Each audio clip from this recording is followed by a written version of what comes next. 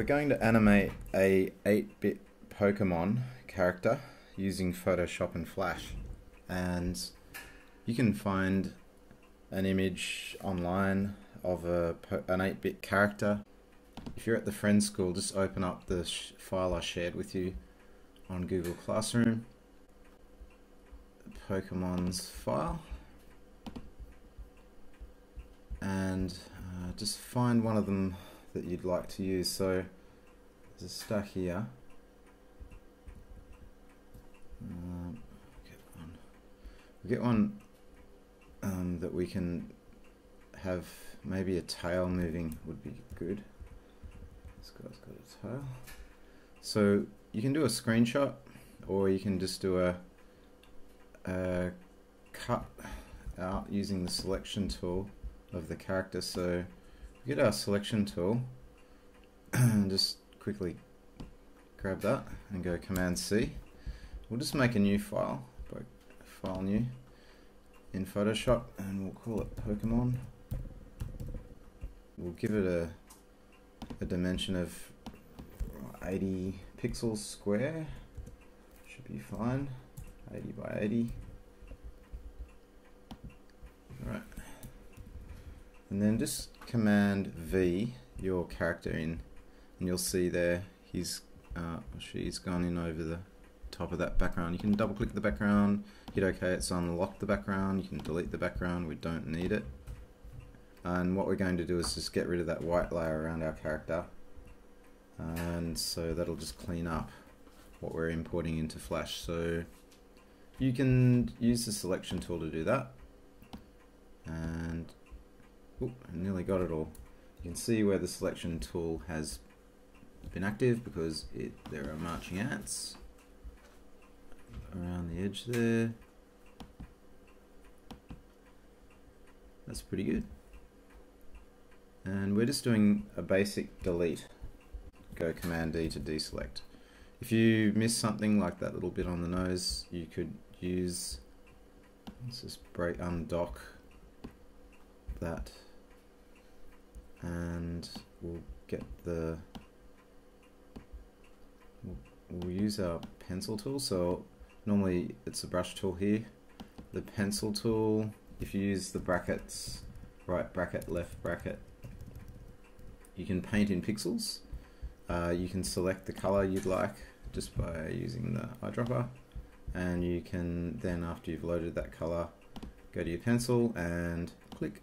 There's your missing pixel so um, now we're going to separate the tail.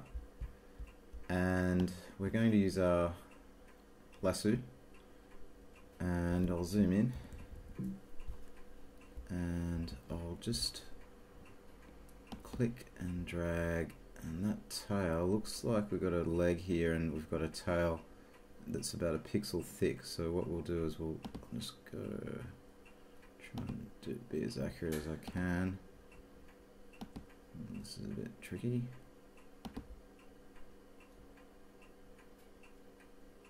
Uh, you could do it that way and you know do all the you know navigate your way around the pixels and you have to go all the way around with that tool and back to the beginning and that would select that area. It looks like it's done a pretty good job. It's approximated according to the edges of the pixels which is great what we really want to do is just cut it and put it on another layer. So I'll add another layer and I'll go Shift Command V and paste it in. Now I've got a few pixels that are semi-transparent. So again, you might need to do a bit of work tidying up with the pencil tool. And that's right, that's easy. And you can add some color and stuff that you'd like you think might be missing or some of your own characteristics that you think will add to the add to the animation. And so there's our tail and our little guy he's got to activate that layer. Let's get his legs sorted out. Right So we're ready to export this character as a Photoshop file and then import it into Flash. So we'll just go File and Export. We'll say, sorry, we'll save it as a PSD file. Call it Pokemon. There you go. And it's a Photoshop file. So I'll hit Save down here. Save.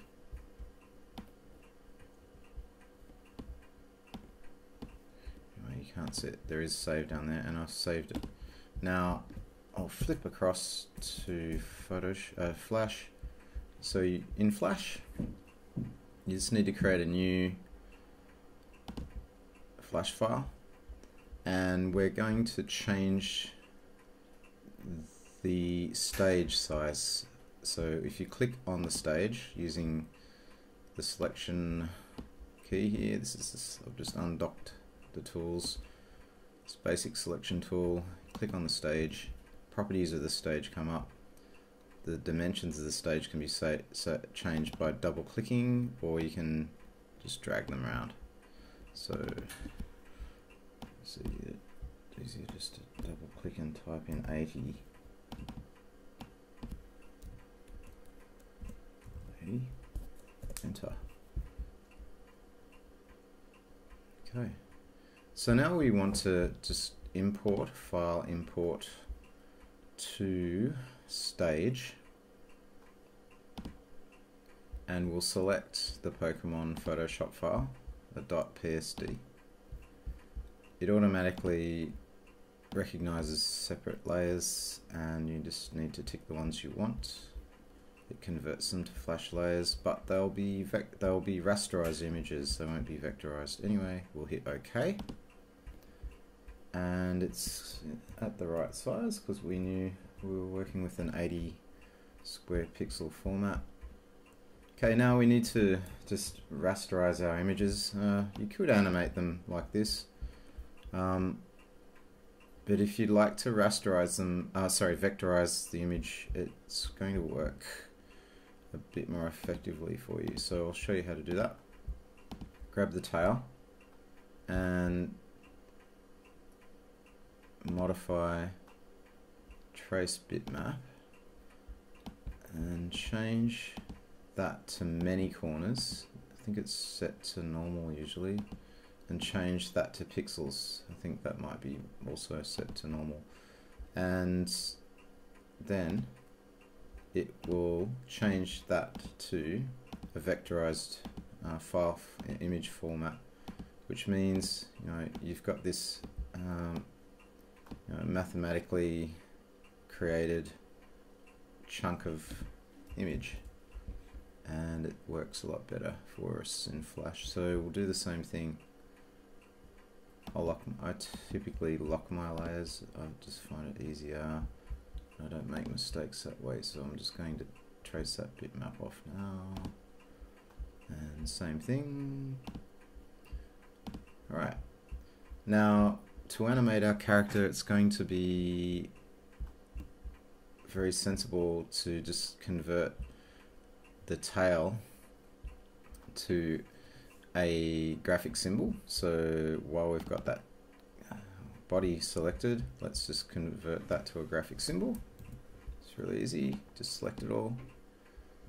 Just go uh, go function F8 on a Mac and make sure you change that to graphic. You can call that body. And now the body is in the library. It's added that. And we'll lock that and go up.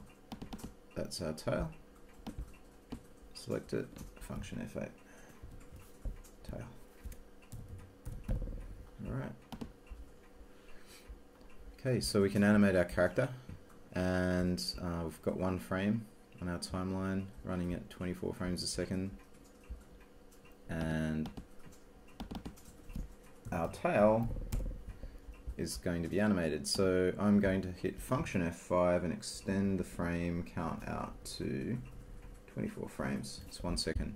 I'm going to move the pivot point of the tail because if I rotate the tail it's rotating around the middle right now. We want the pivot point to be at the location where the tail would normally naturally pivot, which would be where it meets the body, about there. So now if I hold my cursor up around the corner, see it pivot quite well. Right, so now I can add a keyframe here. Go function F6. I'll just move my tail around here.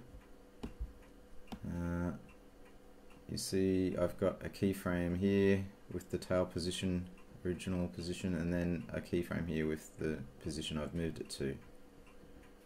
Alright. And if I make another keyframe here, function F6, I can actually, if I want to, just control click, copy frame, control click, paste frame. So I've got that same frame. So it's going from that keyframe to that keyframe back to the original keyframe. Right. I'll extend the body out so it's playing for all those frames as well. Function F5. So we've animated our tail and we've got a keyframe here for our tail in the middle and then it returns to its original point. So it should be a seamless animation moving from here to here. Uh, if you'd like to create a classic tween, all you need to go is control click and add a classic tween and you've got your tweened animation. So control click here again and you've got your character's tail swishing backwards and forwards. Okay, and the tail is slightly going off off screen. Uh, if you'd like to move everything, you can open up this little edit multiple frames panel, select all your frames by going Command A, and then just moving everything up and across a little bit. And just turn that off. I think that'll be fine. So now to export a GIF, you need to export a movie, oddly enough, and you need to change that to animated GIF. It'll default, it'll go by default to QuickTime, I think. Change it to animated GIF and save it.